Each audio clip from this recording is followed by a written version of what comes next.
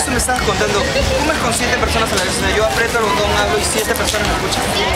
Te metes, es ingresar al menú de TikTok, crear, puedes crear grupos. Entonces, bueno, puedes crear grupos así, amigos de juerga. Ya envías una alerta a ese grupo donde están los integrantes que tú quisiste colocar.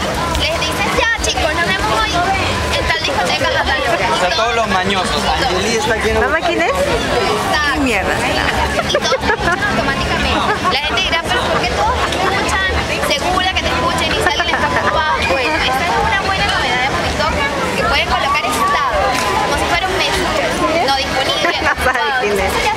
Ausente. Ausente, ya sabes, si no te responde la alerta que está haciendo, ¿no? No te puede atender. Oye, está buenísima esa opción. Ahora cuéntame, me dijiste que este celular puede permanecer